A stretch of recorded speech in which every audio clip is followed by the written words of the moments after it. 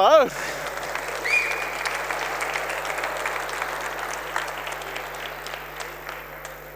How's everybody doing out there? Welcome. It is uh, bon dia, as they say. It's excellent to be back here in Porto at NDC Porto. And uh, I'm Dylan, and I'm going to talk to you about email for an hour. And you're all here, so I'm assuming that lots of you either think that's a good idea or you're like, I can't wait to see what this guy's going to come out with next. And uh, we're going to kind of usurp the trope of the conference talk here. We're not going to do the live demo at the end. We're going to do the live demo right at the beginning, and it is an interactive live demo. So what I'd like all of you to do is get your phones out. Now, this is very important. You are about to see a button that says, do not push this button yet. As Eli said in their talk this morning, if you put a sign up saying, do not dig here, you know what human beings do? They get a spade and they say, please do not push the button yet that says do not push the button yet. Because while all of you are getting that lined up and following the instructions on your screens, I'm going to switch over here to our live status page. That's looking pretty good. And yes, somebody can read instructions. Somebody else can read instructions. What does it say on the web page? It says stand up. I mean, this is a very good sign. None of those have changed color yet. So the brown one there, that's somebody who's using a fake domain. Don't game the system or you get me in trouble with the people who I pay to send the emails for me. The yellow one there is somebody who's already pressed the button. We don't know who you are, but I can find out.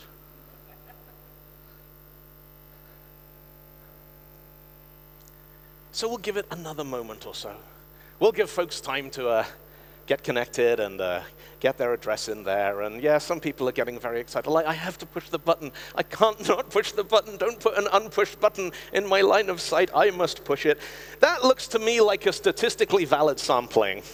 So, are we ready? Are you ready to push the button? Three, two, one, push the button. Whee! Look at that. And when you push the button, we're going to send you an email. So go and check your email. And in the email, there will be some further instructions. And the ones that are starting to go green there, those are the people who found that in their inbox.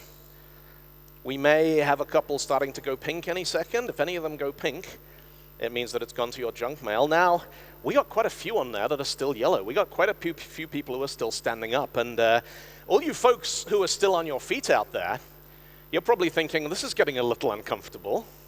Everybody else is sitting down. Where's my email? Now, the world that we live in, it kind of runs on email, right? Email's important. I went to open Photoshop this morning, and it said, oh yeah, you need to confirm your identity before you can run the software you paid for. We're sending you an email. And the expectation is that email is instantaneous, right? Now, all you folks who are still on your feet, Remember who you are. You can sit down now. That's fine. We'll, we'll get to that in a second.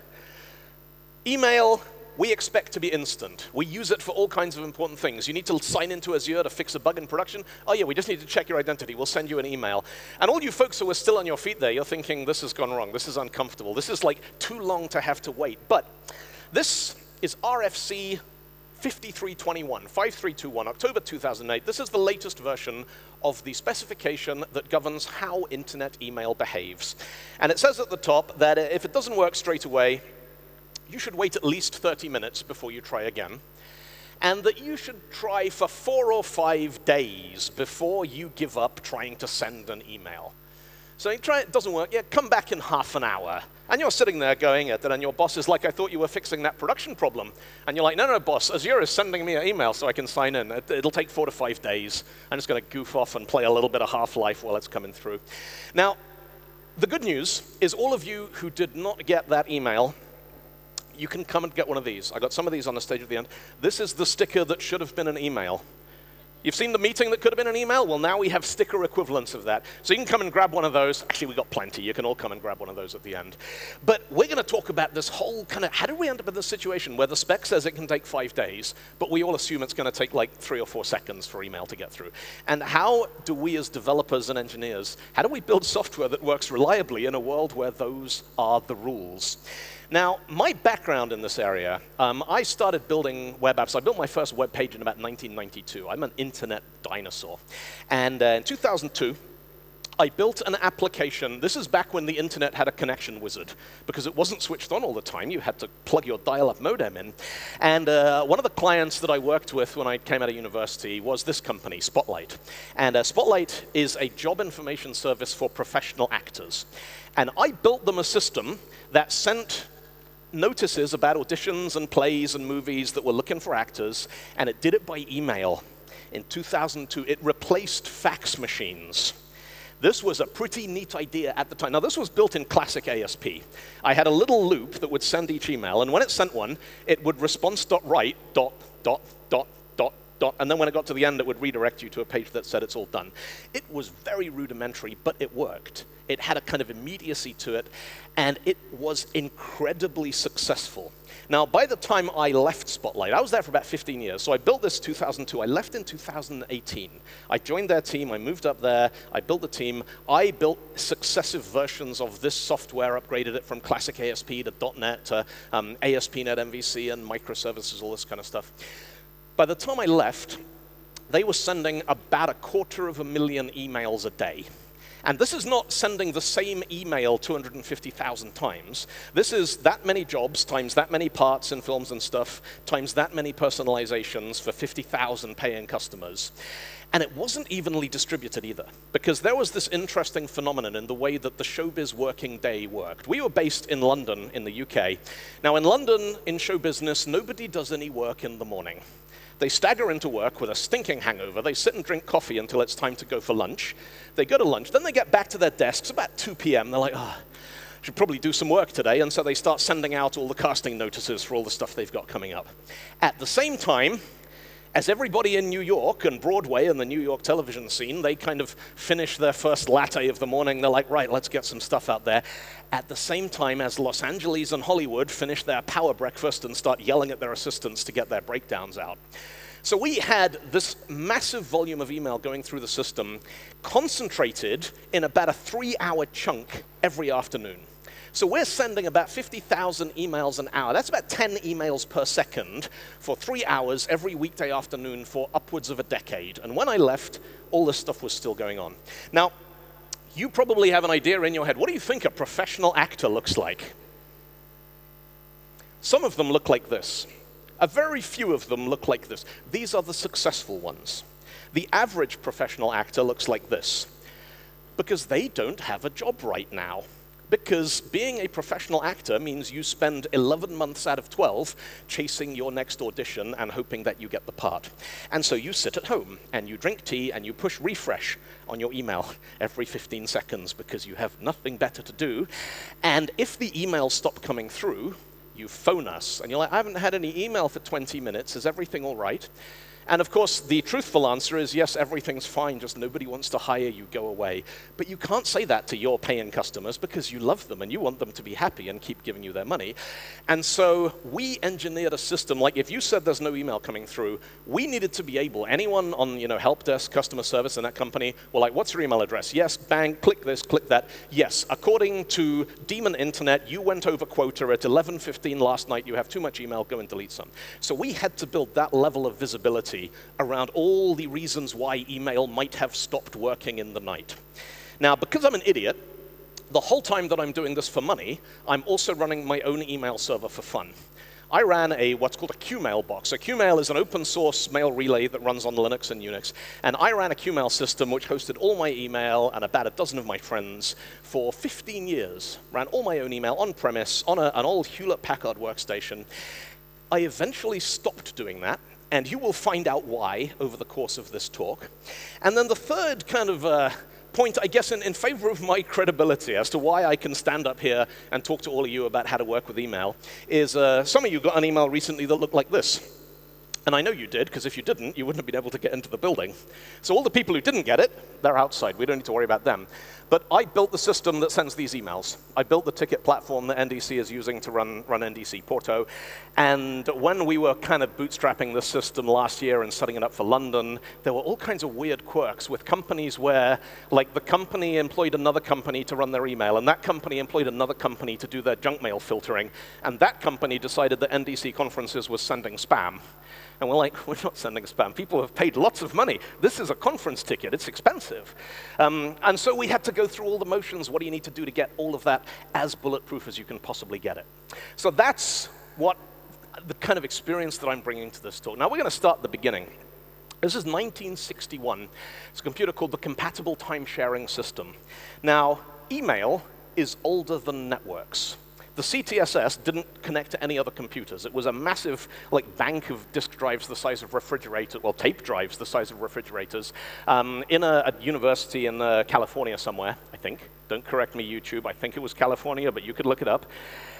And uh, you could leave messages for the other users on this computer. So you could send mail, but you weren't actually sending it because it didn't go anywhere. It just got stored on tape, and when your colleagues came in the next day and they logged in, they would see the messages you left for them. So this was like leaving post-its on a really expensive refrigerator. This was the first system that allowed you to send messages to other people. Like I said, there was no networks involved. It was just one single system.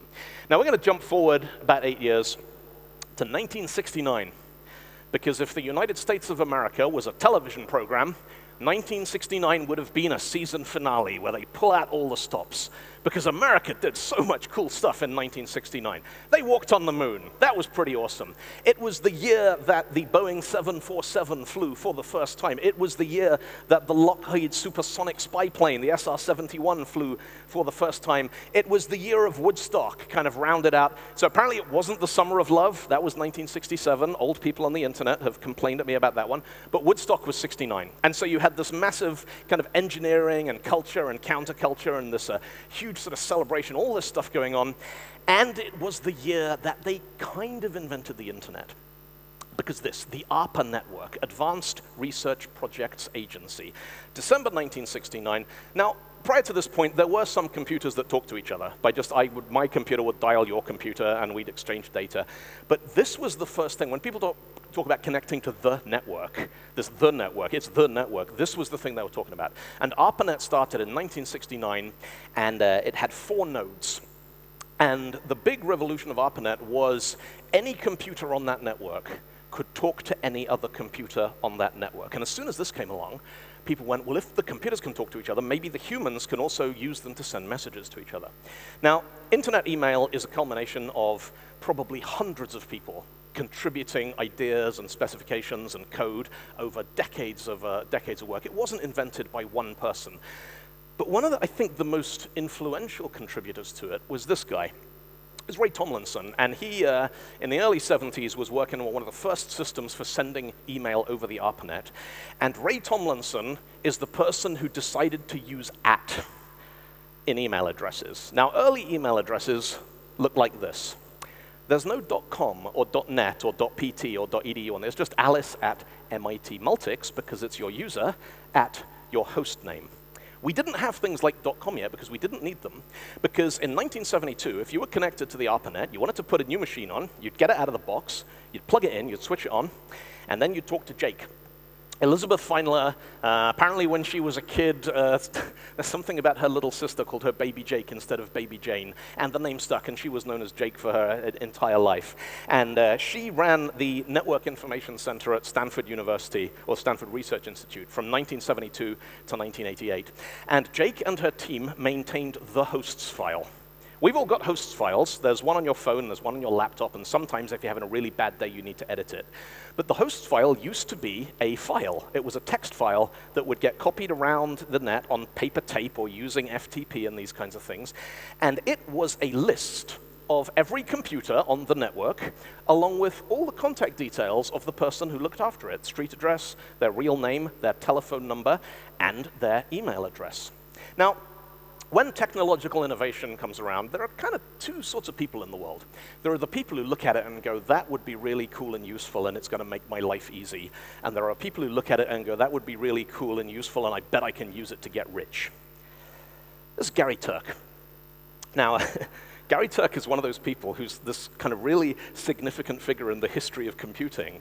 But uh, kind of the thing he did, he was young enough when he did it that if you type his name into Google, the top match is his LinkedIn, because he's still out there and he's still working on stuff. And uh, Gary was the inventor. He says in his profile he's the father of e-marketing. Now, Gary worked for a company called DEC, the Digital Equipment Corporation, 1978, and they've just launched this thing. This is the DEC System 20. It's one of the first computers that had ARPANET protocols built into it. And being a sales engineer at DEC, he kind of figured, well, we should let people know. People on the ARPANET are going to want to know about our computer that does ARPANET stuff. And uh, DEC had a big thing on the US East Coast. They had a lot of offices. They were very well known in New York and Boston, but the West Coast, not so much. And so he paid somebody to go through the hosts file and type in all the email addresses of everybody on the internet on the West Coast. You know, let's not be, be silly here. And uh, he sent an email to all of them. And uh, the email looked like this. Now, about a third of the way down, he overflowed the address buffer that email supported. And so all the people who received this got an email that started with 200 lines of other people's email addresses. And then right at the end, it had this little bit going, we invite you to come and see the DEC System 2020. Now, this is generally regarded as the first spam ever sent. May 1978, that's when spam started. Now, the ARPANET, the Advanced Research Projects Agency, was funded by the United States Department of Defense. Has any of you ever got in trouble at work and like your boss maybe shouted at you a little bit? And I have. You ever gotten enough trouble that uh, the police shouted at your boss? Have you ever screwed up so badly that the United States Air Force yelled at the person who owns your company? Because that's what happened to Gary Thuerk, is Major Raymond Czahor from the United States Air Force got in touch with his boss at DEC and said, you do not do this shit on a defense network. Do you hear me? This is not for marketing. Now, there's a tiny window there where maybe we could have fixed some of this stuff. But the problem was that all the people who used email in the 1970s, they were hippies and libertarians. And they went, well, obviously we can trust people to behave. So they just went, yeah, pinky promise, we won't send junk email ever again. It's fine. We're very sorry, and we won't do it anymore. Now, our timeline from this point forward, you know, they have these kind of demographics. Like there was the baby boomers, and then there was Generation X, and then there are the millennials, and then there's Generation Z, and then there's Generation Alpha. And there's this little weird gap in the middle of people who we're not quite sure what those people are. You know, what do we call them when we do these, these population demographic studies? Now, the definition that I subscribe to is that Generation X is the people who were born before Star Wars. If you were born before Star Wars came out, you are Generation X. And if you were born after Return of the Jedi, you are a millennial. Star Wars, 1977. Return of the Jedi, 1983. The people in the middle, we are the millennial falcons. We are the micro generation. And the greatest millennial falcon of them all is the internet as we know it. Because when Star Wars came out in 1977, the ARPANET used the NCP, Network Communication Protocol. TCP IP didn't exist yet. Everything was done using the hosts file. Junk mail had not been invented yet. This had never happened. Skip six years forward, by the time Return of the Jedi comes out, the internet is called the internet. TCP IP is a published standard, and most people have started embracing it on their systems. January 1st, 1983 is when TCP IP rolled out. DNS is becoming widespread. The standards are published, it's being adopted, it's replacing host files, and as we've just seen, junk mail has been very much invented. And one of the th other things that was invented in that window was SMTP, Simple Mail Transfer Protocol. It was invented by this guy, Jon Postel. And the thing about SMTP, it's a proprietary, it's a, a protocol that was documented in 1982. It was incredibly successful. And the problem with successful technology is once you've got a lot of people using your stuff, you kind of get stuck with it. Like, we could build, I'm sure most of us in this room, we could build an amazing email system right now that solved all the technological problems of SMTP and internet mail, but it would be useless because we'd have to persuade everyone else to use it and they're not going to because they don't want our system because their system works with your system and your system talks to your system and your system talks to Yahoo and Amazon and Microsoft and the people who you pay your bills to and all this kind of stuff. So SMTP kind of got, we got stuck with it. The thing that came out in 1982 was so successful that today, in 2023, 41 years later, we still have email systems that can communicate with that. In terms of reverse compatibility, imagine you went out, you bought an M2 Silicon MacBook, and it came with a tape drive so that you could load your PowerPoint slides off a data cassette. That's the kind of backwards compatibility that we're talking about here.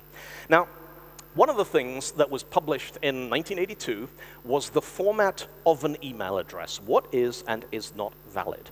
Uh, how many of you folks out there have written code to validate an email address? Did you use a regular expression? Yeah, we've, we've all been there, right? Did it work? Sometimes. Now, Let's take a look at some sample data. So let, us say uh, we're, we're going to bring in the Avengers here, because this sounds like a job for the Avengers, right?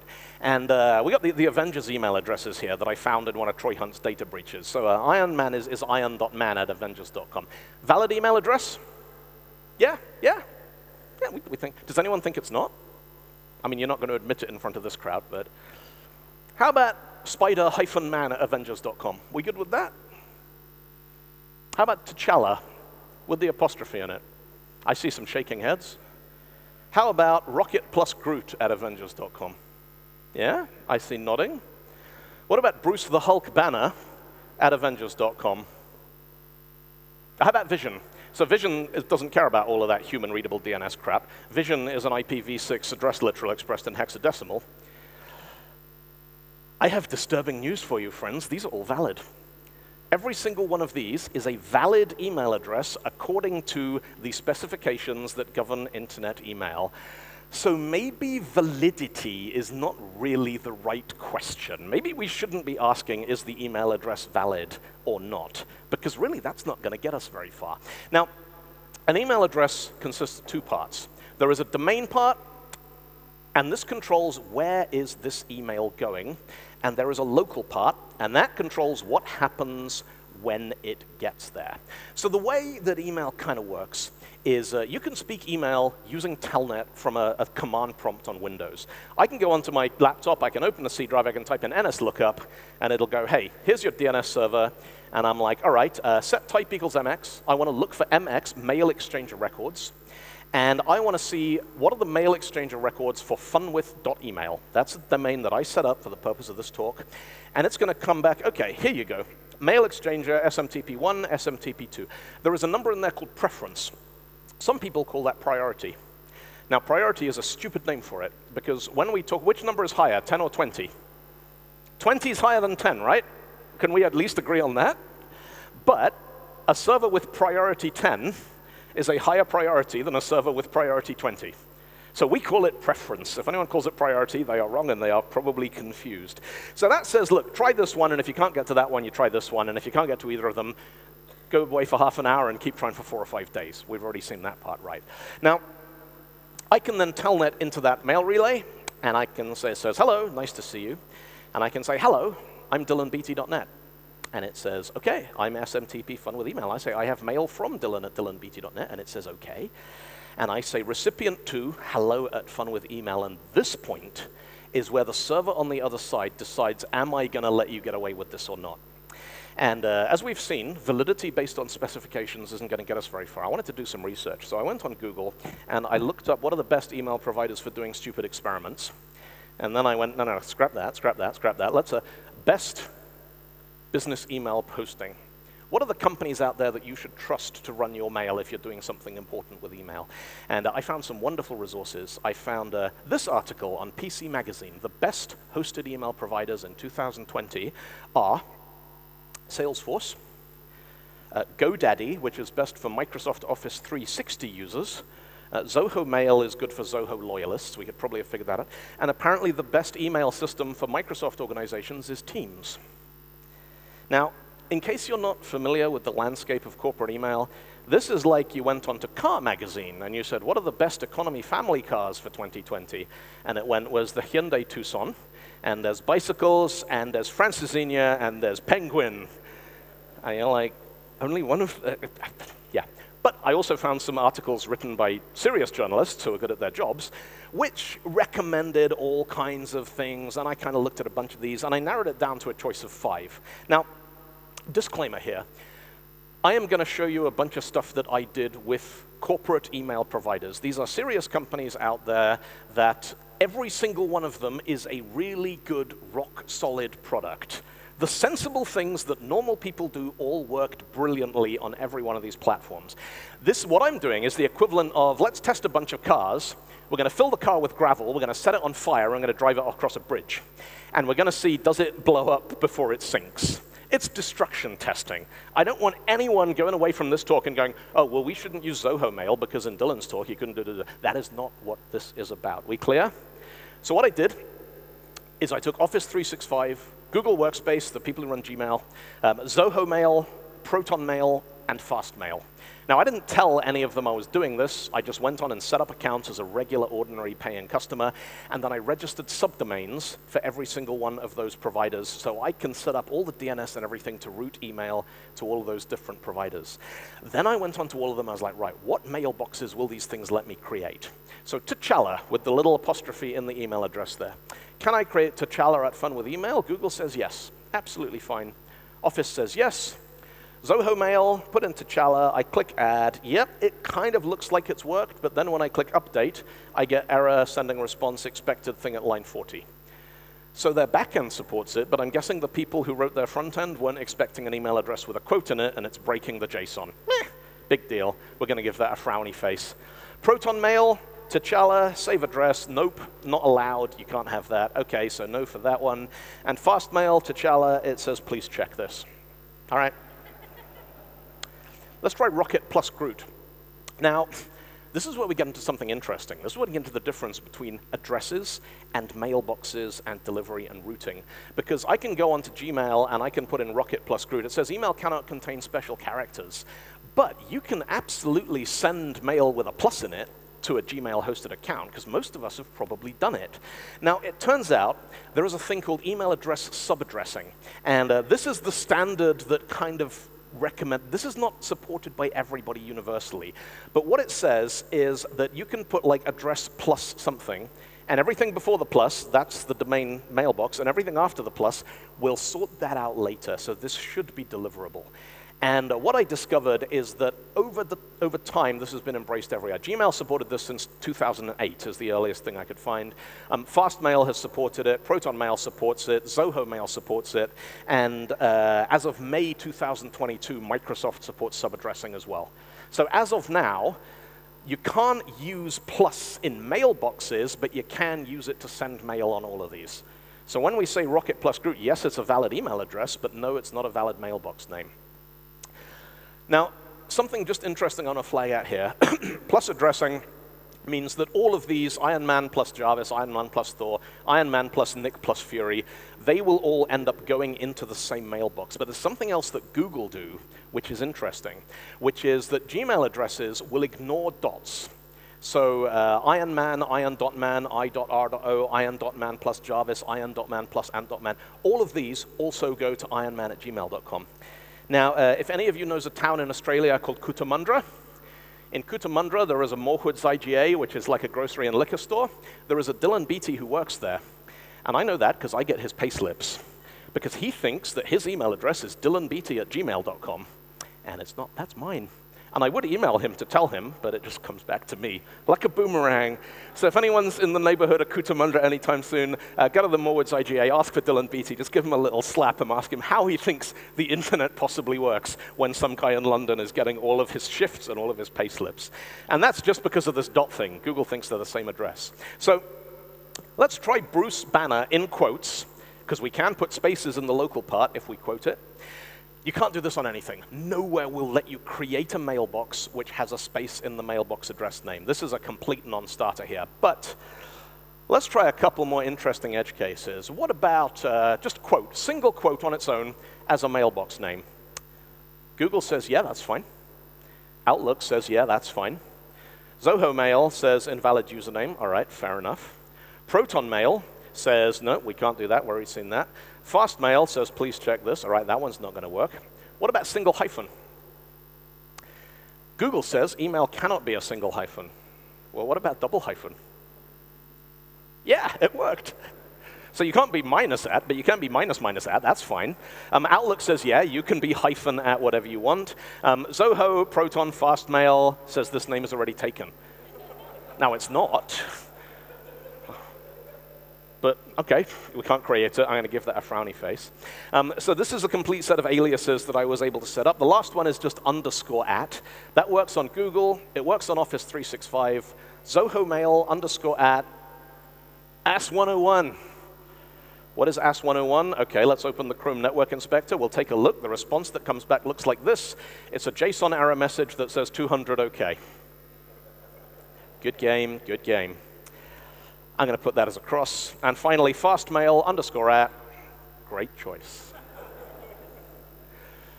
So there we go. That's what this whole idea of validity actually looks like, is it depends where you're getting your email from. And it depends what kind of addresses you're trying to implement, and it depends how that company is interpreting the specification. Now, the other thing that I set up is I set up what's called a catch-all address.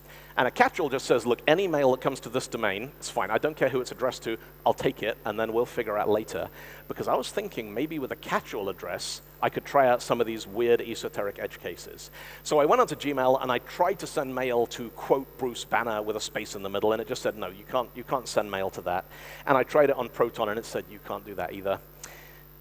So I started thinking. Now, we saw a moment ago just check email address validity. So this is the actual rule about whether an email address is valid or not, is does it contain at least one at sign? If it doesn't, it's not valid. If it does contain at least one at sign, it depends.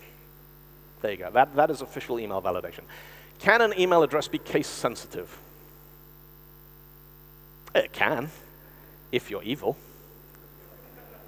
The bit on the right, the domain part, that's DNS, and DNS is case insensitive by design. Uppercase, lowercase, the internet doesn't care. The bit on the left absolutely can be case sensitive. Now, when SMTP rolled out in the early 80s, a lot of places that implemented it were implementing it on top of a Unix mail system that already existed. And on Unix systems, they have a case-sensitive file system, which means your mailbox is the same as your home directory, which is the same as your username, and your home directory is on a case-sensitive hard drive, and so it's case-sensitive. And so Alice with a little a and Alice with a big A could be different users on a Unix machine, you know, if you were evil, if you think this is a good idea, we have to have a talk, but there's nothing technically stopping you doing it. Now, generally, this isn't a problem. However, there are certain organizations, Hello Airlines, I'm looking at you, that when you put your email address in, they flip it into uppercase immediately, probably because they're still running COBOL somewhere in the background. And so if your software is converting users' email addresses from lowercase to uppercase, it is just possible that somebody out there who is technically correct is no longer going to be able to get email from you because they have implemented the specification in a way that you are ignoring. So yeah, you can have case-sensitive email. You probably shouldn't, and if you do, that's your problem, but technically you're not breaking any rules. Let's go back to our little transcript here. Now, I've telnetted in, I've said mail from, I've recipient to, and it's going to say OK. That's cool. I know who that is. I'm going to send mail for that. And at this point, I'm going to say, here's some data, and I'm going to say, hello, dot on its own, ends the email, queued as there's a message I do, boom, done. And I can go and I can open my Fun with email, and there is that message. And it says, hello, and there's a message ID. There's nothing on the envelope. I don't know where it came from. I don't know where it's going to. None of that stuff is included, but it got delivered. It got to where we were going. Now, at this point, I'm thinking, hang on, if I can send email by injecting stuff directly onto port 25, maybe I can try that to send email with spaces in it. So I did an NS lookup for Proton Mail, pm.funwith, and it said mail protonmail.ch. And I telnetted into them, and I said, hello, Fun with email here. I've got mail from me, and I'd like to send it to Fun with email, and it goes, no, protocol error. Uh -uh. Can't do that. OK, so scratch Proton Mail. Let's try another one. Let's try Zoho. So Zoho, there's their mail exchanger. We telnet into it. There's that. We say hello. We say mail from this. We say recipient to. It says relaying disallowed. Now, technically, I'm not relaying. Technically, I'm delivering, but that's tripped some bit of their validation that's looking at the wrong thing. OK, not going to work. Let's try Google. Yep, telnet into Google, port 25. Hello, mail from recipient to. Eh. The recipient address is not a valid RFC 5321. Now that's lies, because it is, because I've read the spec, and that is totally valid. It's just that Google is saying it isn't. Now, I don't know who's right here, Google or the standard, because Google's got a lot more money than the standard, right? Let's try it with Microsoft. So I uh, got the, the Outlook.com mail relay, I telneted into that. Now, the interesting thing I found is that every single server that I tried this from, I got the same error saying service unavailable. This was the, uh, the, the Alfândega Wi-Fi this morning saying you can't send it through that.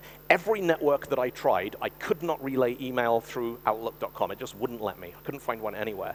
But I did a version of this talk in Oslo earlier this year, and I got an email afterwards from Thomas Eisenberger saying, hey, I have a machine here that uh, hasn't been blacklisted by Microsoft, so I thought I'd give it a try. And so Thomas sent me a transcript of connecting to MS Fun with email and sending that through, and there's Fun with email, and uh, there's the email address. I'd call it a success, and it queued the mail for delivery. And just as it's looking really promising, we get a non-delivery report because Microsoft, oh yeah, we, but then afterwards we decided that we didn't want that anymore. So sad face for Microsoft. So we got one left to try. We've got Fastmail. Um, so I'm going to telnet into them, and I'm going to go hello fun with email, mail from this recipient to fun with email at fm.funwith.email. Now, this is looking promising. This was sent to an email address with spaces in it, queued for delivery. Did it work? There it is. It worked. So Fastmail you can actually send email with spaces in the email address, and it goes, oh yeah, that's fine, we can cope with that. Um, and you notice it's taken all the quotes off, so now you get this thing which you're looking at. And you know, I would love to show this to help desks and go, can you tell me what happened with this email here? Because they'd be like, we don't know, and we don't want to be help desk anymore. Now, all of the stuff we've been doing there, this is kind of direct delivery. I'm finding the place the email has to go, and I'm telnetting into it, and I'm formatting the message by hand. That's not really how messaging works in real life. If we want to send a message to uh, His Excellency uh, Lazarus uh, Chakwera, who's the Prime Minister of Malawi, um, we are not going to go to Malawi and go to the top of the hill and knock on the door of the presidential palace. One, it's a long way. That's an expensive trip just to send one letter. Two, he might be out. And then we'd be like, ah, oh, we come all this way for nothing. No, if we want to send a letter like that, we put a stamp on it and we stick it in a mailbox and we trust the global delivery infrastructure to take care of that thing for us. Now, this works in reality because physical mail has certain built-in constraints. One of them is it costs money. Even you've got the cost of the postage, you've got to buy a postage stamp, you've got to address the thing, you've got to physically carry it to the mail, you've got to print it. Have you seen how much printer ink costs these days? If you were running some kind of a scam where you wanted to contact a million people and if any one of them bought your product, you'd make a profit on the deal, that would have to be an unbelievably profitable product because you are going to be in the hole for a couple of hundreds of thousands of euros just from the costs of sending that many messages. So physical mail works because it has fundamental built-in constraints. Internet email does not have fundamental built-in constraints. And so if we go and take a look at what's in my mailbox today, Elisa Williams, hello dear, I'm looking for a special friendship. And Martin Smith's web design price is number one on Google. And Mark is sending me steel products manufacturers. And the, the president is sending me cross-border international monetary fund. Uh, Kelly McGoldrick, I just want to tell you how I'm feeling. I've got Joe D -D Dylan, your subscription has been confirmed this is crap. This is a massive, relentless fire hose of crap. Now, we have decided that this is called spam. The internet says that junk mail is called spam because of a Monty Python sketch about a bunch of Vikings singing a song in a cafe.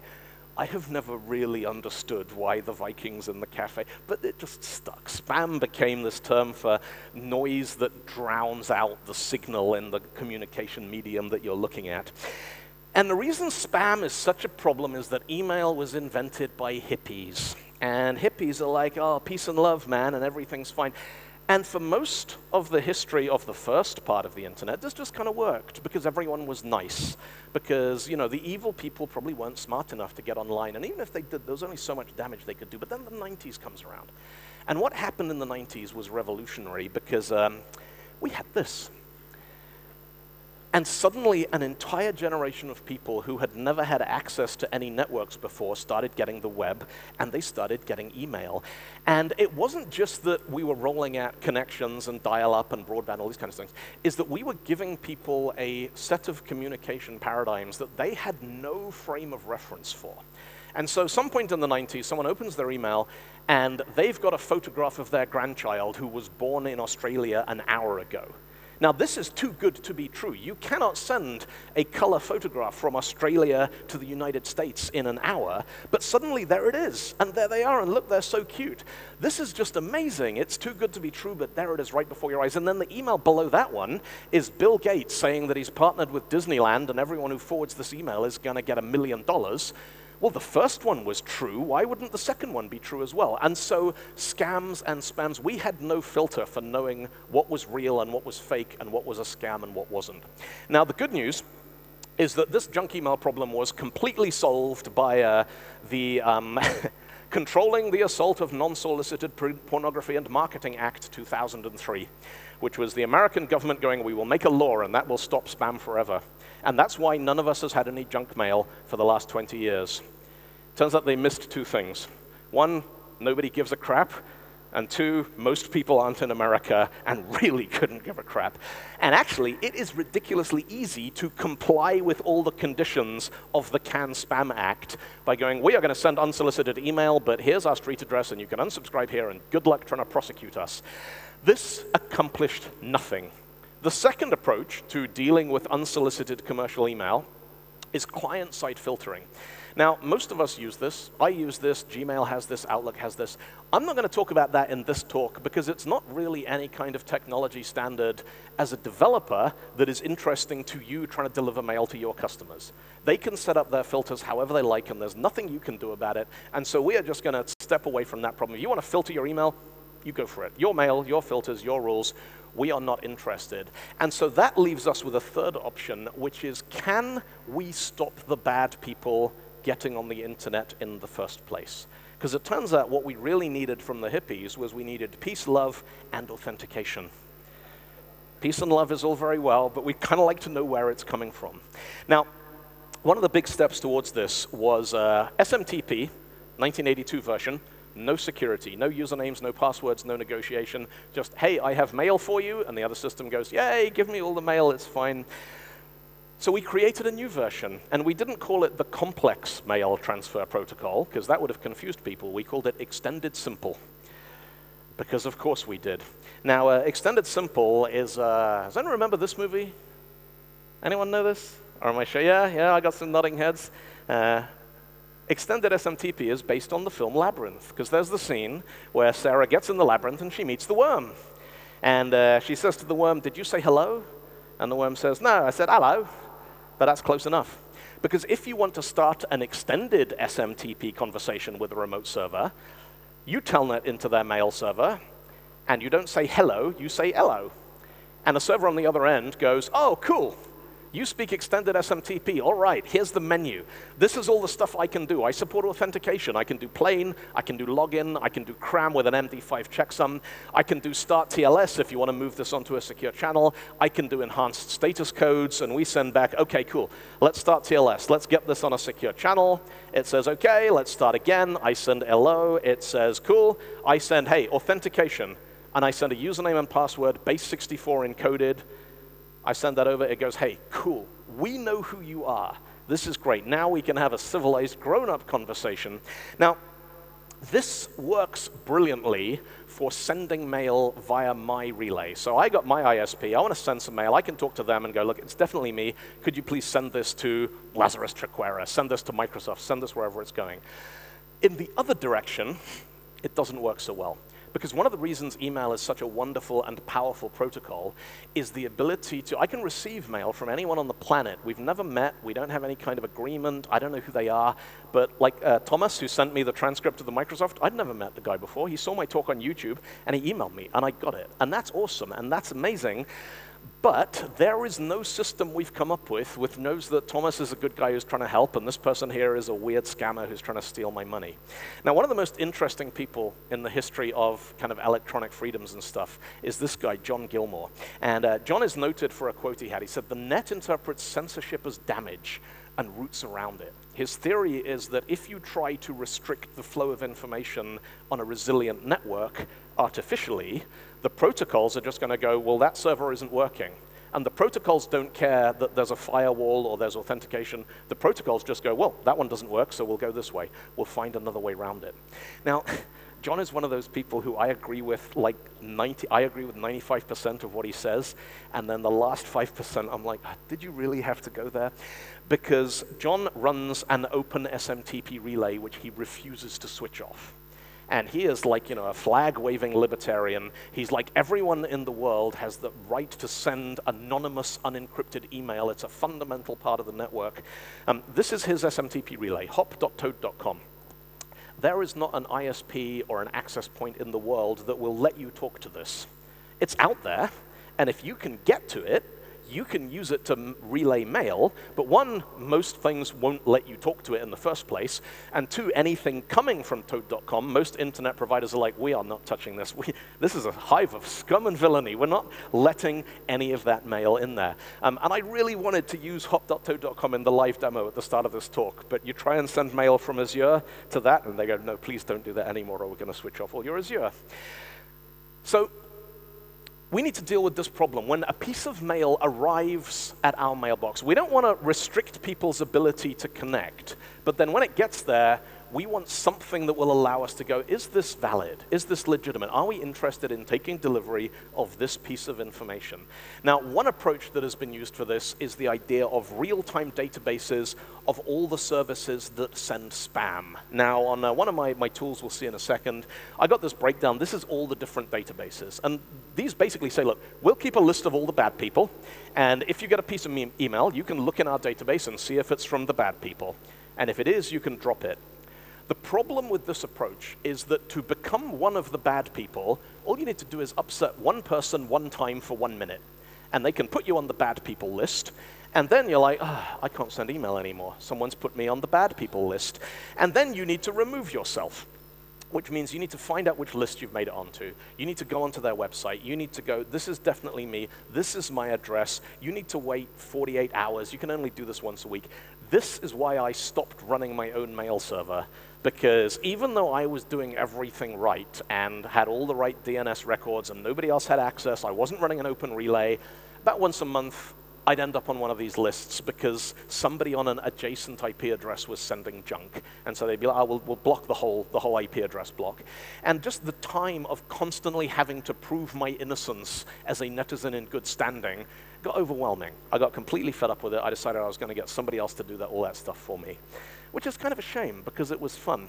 Now, if you go onto uh, the Google DNS toolbox or the Google Dig toolbox here, we're going to take a look at Fun with Email. Now, that currently has no records on A because it's not a website. But if we bounce across to the text records for Fun with Email, you can see in here, we got this record here, VSPF, IP4 include. Da, da, da, now, this is how we are using DNS to authenticate mail. What we're doing is we are saying, look, this domain authorizes certain people on the internet to send mail on its behalf, and nobody else is allowed to do that.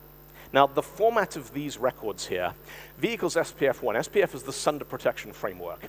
And what I've said here is, look, IP4, this IP address is allowed to send mail for fun with email. This set of addresses, so smtp.com is one of the providers that I've um, used to send the stuff at the start of the talk. They're good. Messaging they're good. And anybody else, the little squiggle here means this is a soft delete. Now, the plus is a pass. That's the default and normally can be skipped. Neutral means don't care. Why would you have a rule that says you don't care? use it for diagnostics and troubleshooting. Because you can look in the logs and see that you didn't care, and if you didn't care about the right things, it's probably safe to switch them on. And a soft fail is deliver it but don't tag it, and you can have a hard fail you can publish a rule to the whole world that says any email that claims it came from funwith.email, if it didn't come from one of these relays or one of these servers, you can just delete it and not tell anyone that it got deleted. Now, the plus is the default, so you'll normally see that get left out. So we've got this whole delivery authentication mechanism here. And all the stuff we talked about so far, so what's on the outside of the envelope? This is how does the thing get there in the first place. Let's talk about what's actually inside the thing here. So we're going to pretend uh, that uh, it's um, back in 1982. I got my PDP-11 up here, and uh, I want to send an email to, uh, say, alice at gmail.com. I can send from to subject, hello, this is the whole message body. Now, this stuff here, this is not routing information. This is for the human recipient on the other end. Now, this stuff has to be 7-bit ASCII because it has to be backwards compatible with a standard from 1982.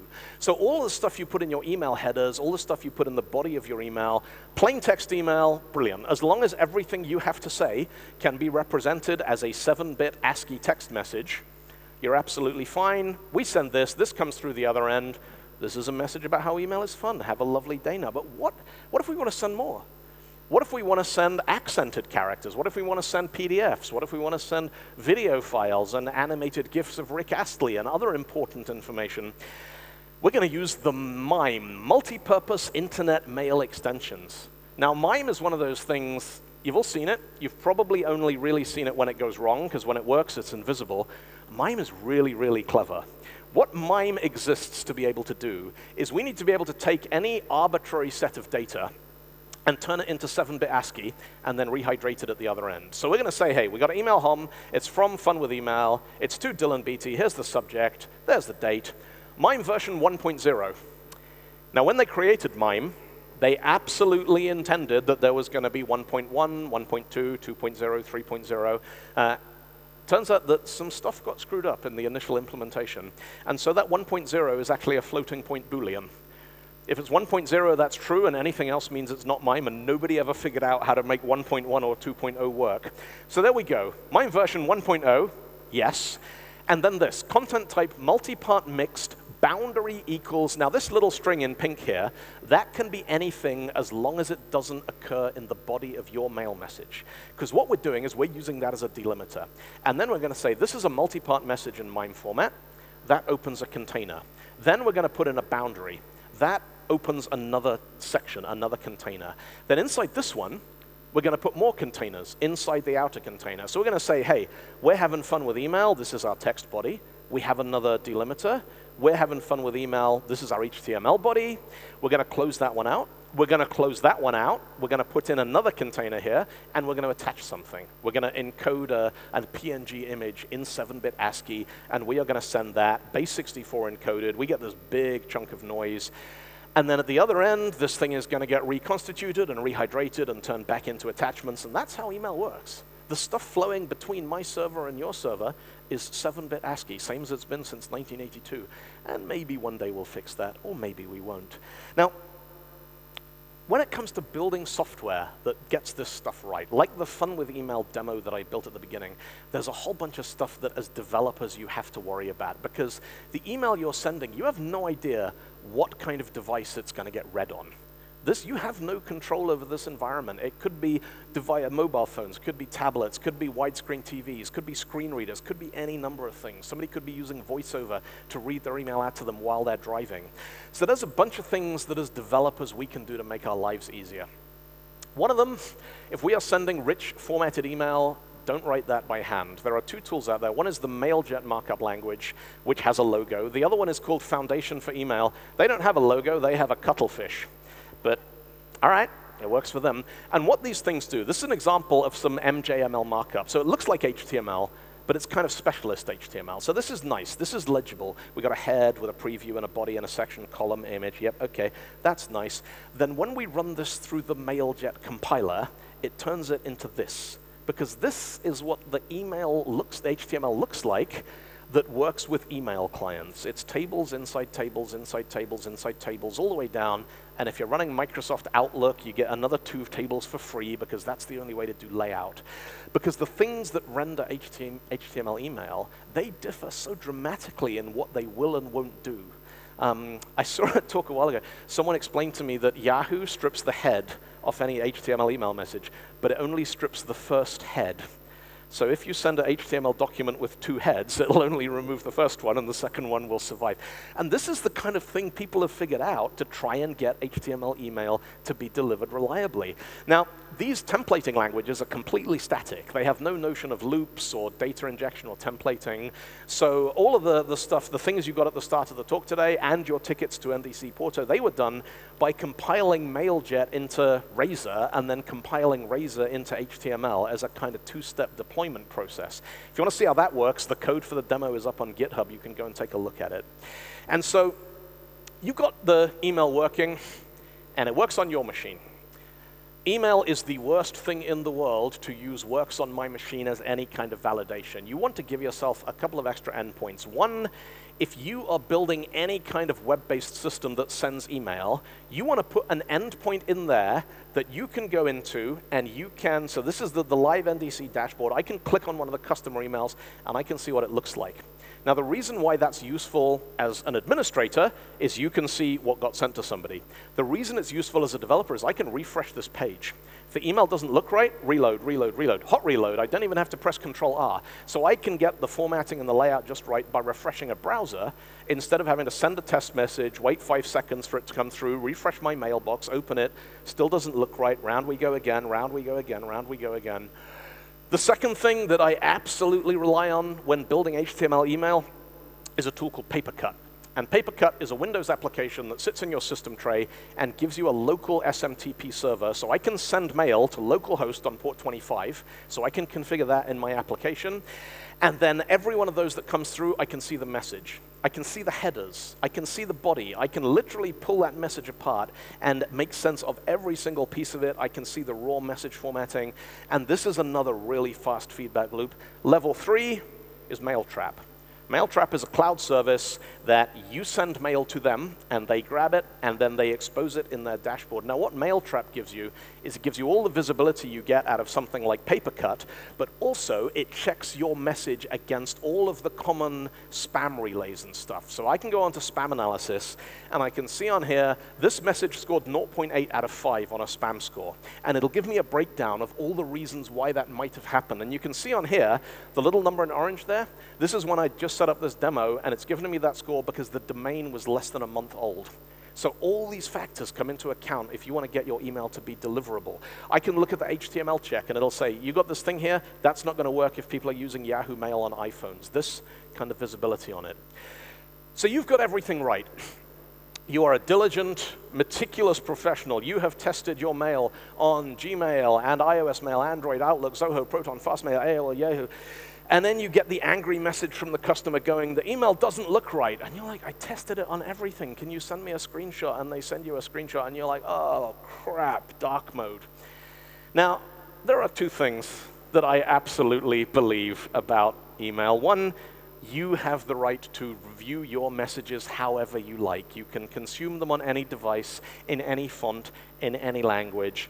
Dark mode email is an eldritch horror from beyond the stars because there is no way of getting it right. You find any one of your friends who is a graphic designer, ask them to design you a brochure or a leaflet or an album cover, or a book cover, and then say to them afterwards, oh yeah, it might be on a black background or it might be on a white background. We don't know. The customer is going to choose later.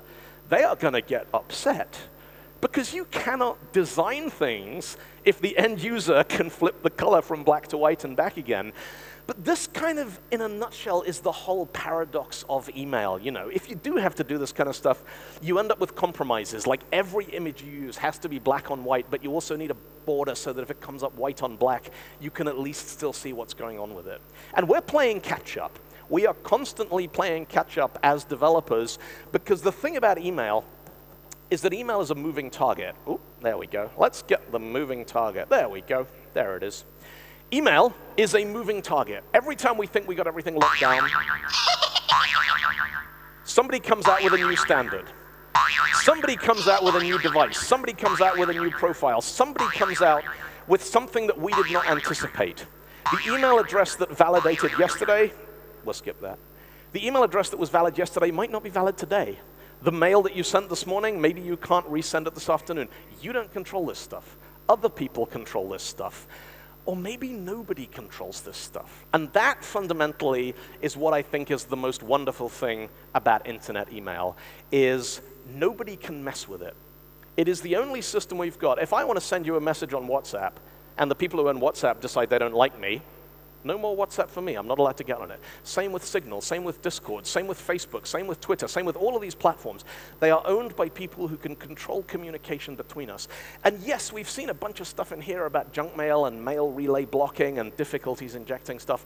But fundamentally, if I want to talk to you and both of us know how to set up a server, we can use email to communicate and there is nothing that anybody else out there can do to interfere with that conversation.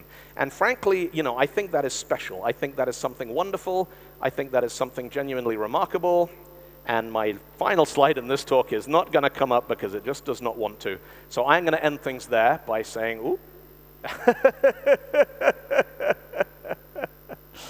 what I have here, this is fun.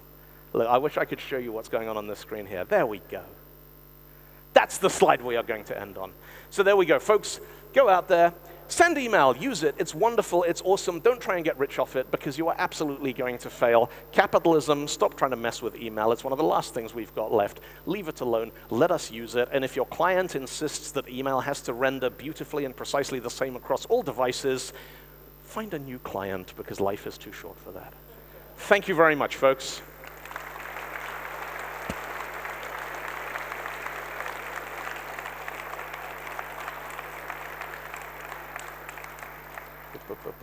Let's just have a little look at our report here and see how many emails we got through each of our providers.